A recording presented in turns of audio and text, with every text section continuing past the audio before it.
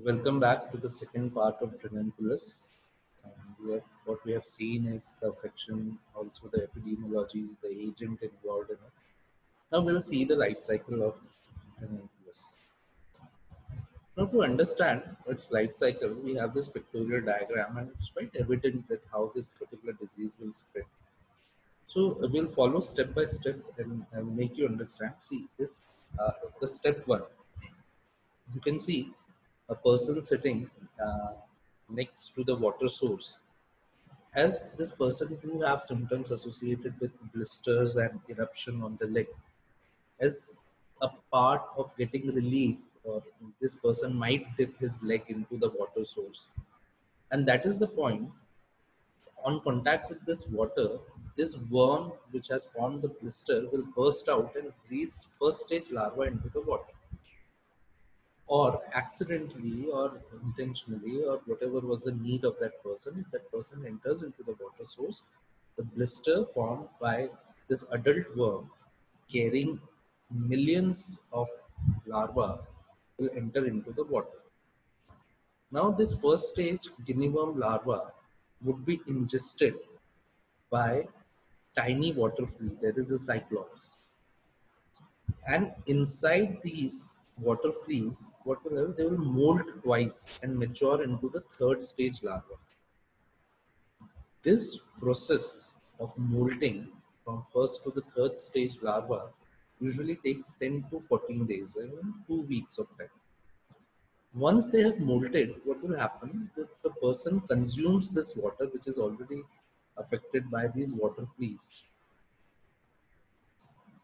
the they will get ingested into the stomach and in stomach under the uh, digestive juices they will get released. That the larva which is in the third stage will get released.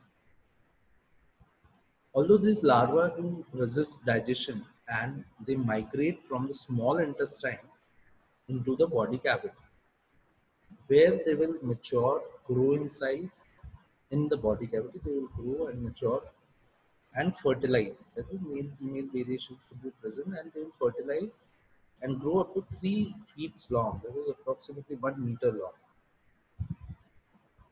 They move through the connective tissues to the various parts of the body, usually the lower limb. Whereby they have chosen the lower limb because that part, whenever a person enters into the water body, that would be the first part to come in contact with the water.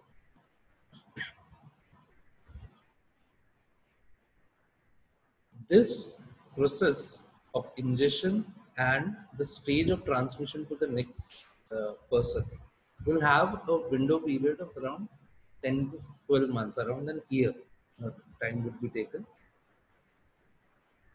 The blister formed now with this person will, will burst again when you come in contact with the and it could be transmitted to the next person or to the same person if that person is drinking. So the life cycle is quite easily understood. That is, first stage, the larva would be released, ingested by the cyclops, which is the intermittent host in this particular case. The cyclops will enter into the digestive system. The cyclops will release the third stage larva because two stages of molting is occurring in the larva. This water flea or the cyclops and from there they will travel to the small intestine to the body cavity where they will mature, fertilize, and form first stage larva again and they will be released again consumed by the cyclops and transmitted to the next person. So what happens is gravid female goes down infected person's lower limb near the skin surface. Worm usually penetrates into the dermis and induce an inflammatory reaction and blister is formed. Why this blister formation is required? Because it has to release its larva. So the blister would be a portal for release of these larvae. Upon contact with water, the worm burst releases up to 1 million. Big number. Microscopic free swimming larva, that is the first stage larva. This larva usually remains active in water for 3 to 6 days. Now, some cyclops crustaceans present in fresh water will take up these larvae and within a span of 10 to 14 days, which is approximately two weeks, they will develop in the cyclop Uh, that is, they will undergo two stages of molting. So the cyclop here is known as the intermittent host. Man here acquires infection by drinking water contain- containing infected cyclops. In human body, the digested the cyclops are digested by gastric juice and parasites are released.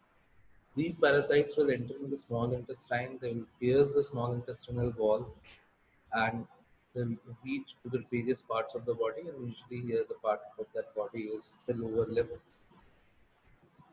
The growth time which is required for development of an adult worm is around 10 to 14 months. The signs and symptoms intense burning pain localized to path of travel of the worm. So this is known as the fiery serpent because as this worm will travel, it will do have some affection on the nerves and that creates a burning sensation. And this burning is very intense. So patient or the person suffering from this will actually say something is crawling and that something is creating a lot of burning sensation.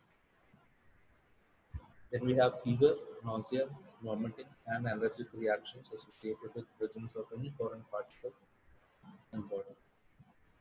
It may also cause, surprisingly, it may also cause arthritis and paralysis due to death of adult worm in a specific joint. Skin distress, as is required for releasing the larva into the water, and adult worm protrude from these ulcers. The adult worm, we can see uh, one end of this adult worm protruding out.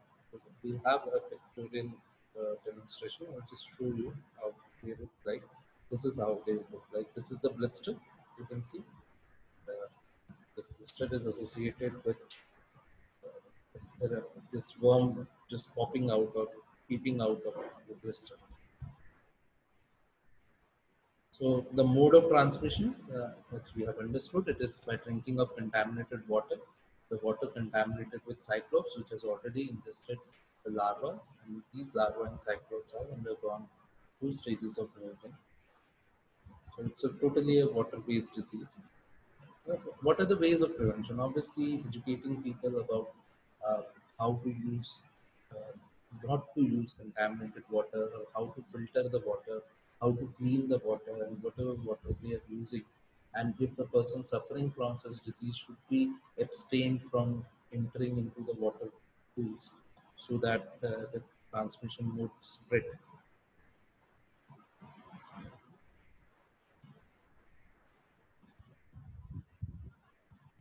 So community level cases detection can be done.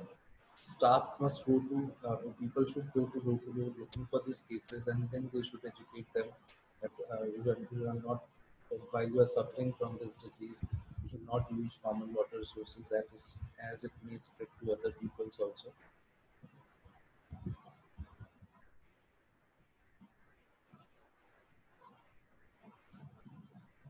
Now, treatment, uh, metronidazole and mebendazole are usually uh, used for killing this types of worm.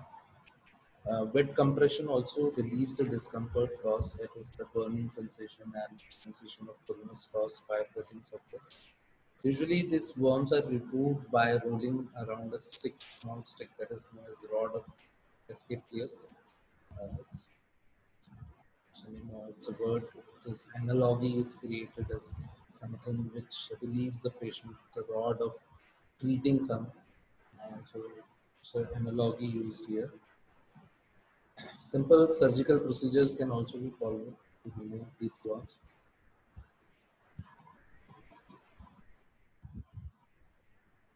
And I hope this pictures, you can see the length of this particular parasite.